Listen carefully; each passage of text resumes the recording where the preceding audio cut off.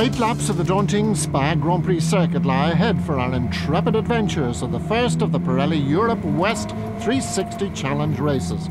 And Paddy Shovlin is our best representative on the fifth row of the starting grid. Michael Cullen is directly behind him and Hector Lester is alongside. We're on board with Shovlin, who's passed by the red car. Now Michael Cullen is challenging Shovlin.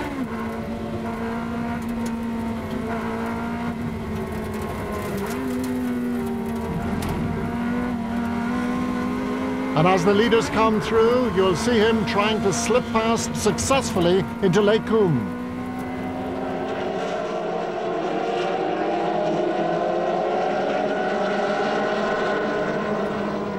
Down the new part of the circuit, and Michael Cullen continues to make progress.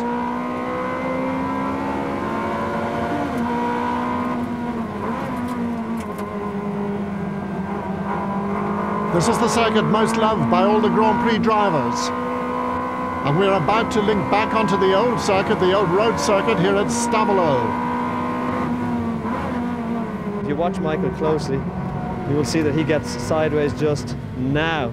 But had the car control to keep it, I didn't. I hit the gravel and spun on the track. Paddy, uh, we know that these are sprint races, but uh, what, one and a half laps? Less than one and a half laps actually, but that's the way it goes. Gravel was there, there's nothing I could do about it. I didn't have the ability to keep it there, so that's the way it went. Lap 4, the French 360 of Francois Jakubowski is overtaken by the Spanish entries of Javier Diaz. Michael is in the top 10, and Hector Lester closing in.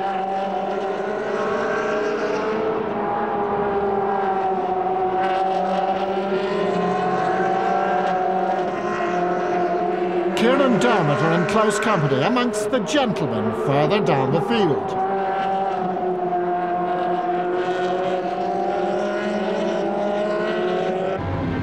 Hector is definitely in a hurry, and by lap 7 he's on the Dubliner's tail. He's quicker through Eau Rouge and Raidillon, and has a real chance of getting past into Les Combes.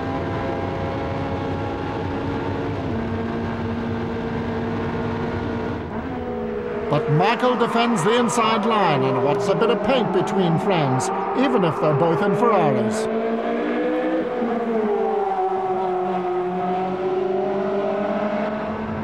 We're now approaching the bus stop. And Michael cleverly puts the Dutchman, David Hart, between him and Hector. So in the end, it's victory for Spain and Diaz. Stuart Roden is the top UK finisher in 8th place and Michael in a lower than usual ninth with Hector 11th. And Kieran and Dermott are more than pleased with 27th and 28th amongst the 33 international finishers. Now it's the second encounter of the Pirelli Europe West 360 Challenge. Michael Cullen starts in the fifth row of the grid, Hector Lester in the sixth. But Paddy Shovlin is right at the back after his first race non-finish. He doesn't intend to stay there.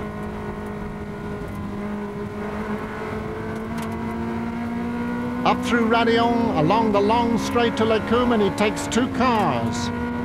Meanwhile, Michael Cullen is fighting amongst the leaders as we come to the bus stop.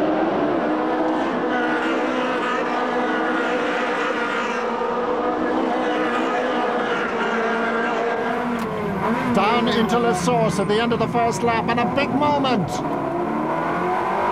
A lot of very expensive metal being damaged there. Hector Lester is in a very determined mood, and he's closing in on the Dubliner.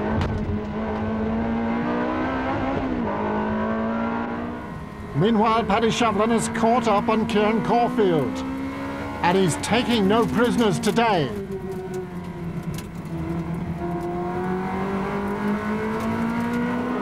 The bus stop, Shovlin has passed over a dozen cars in just three quarters of a lap.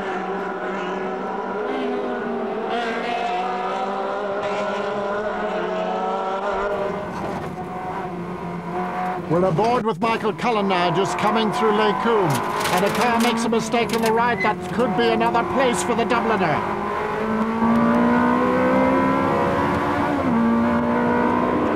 Stop on lap two, and this is the battle up front between Frenchman Bardet and Belgium Van Camp Hout.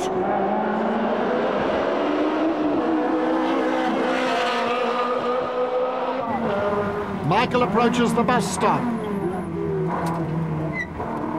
And John Bosch sneaks through on the inside. That puts Michael back to sixth place. Paddy Shovlin is now lining up to try and pass the Frenchman Laberhart at Blanchimont, the most uh, frightening corner of them all. Here comes the bus stop.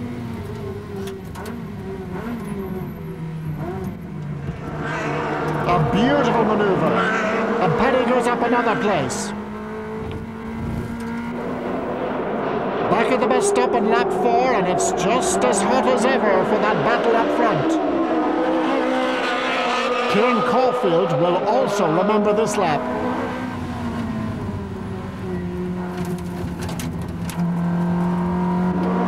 Back at the bus stop on lap six, and Michael Cullen is now in an excellent fourth place, and Hector moves up to sixth.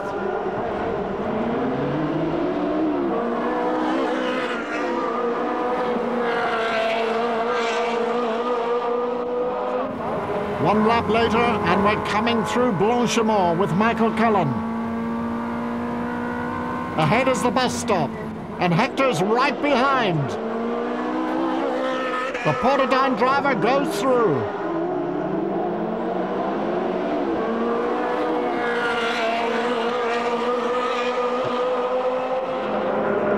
Two laps to go, and little does Kieran Caulfield realise that he's about to play a major role in the overall result of the race. Bardet gets through, but the Dutchman doesn't.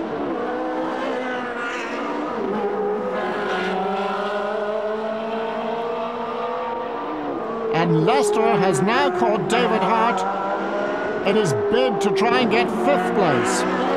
But he has to settle for sixth. Still, he's the top Celtic finisher.